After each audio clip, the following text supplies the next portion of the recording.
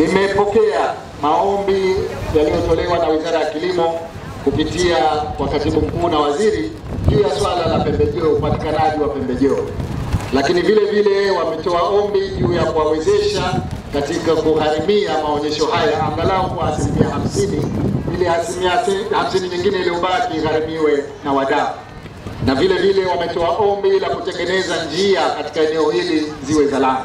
Nachoweza kusema ni kwamba nimeyapokea maombi yote matatu. Tuna wajibu kama serikali kuhakikisha kwamba tunawawezesha wakulima katika kuwapatia pembejeo, lakini ushauri wangu kama nilivyokwambia waziri, tunapo serikali itatoa fedha kwa ajili ya pembejeo, lakini ziwafike wahusika.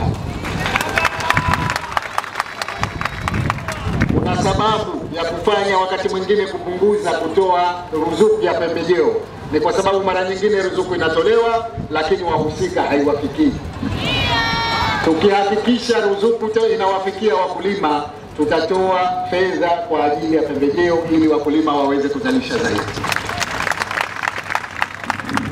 Gharama za maonyesho ni wazi kabisa kwamba maonyesho haya yana tija kubwa, yanatoa mafunzo kwa wengi.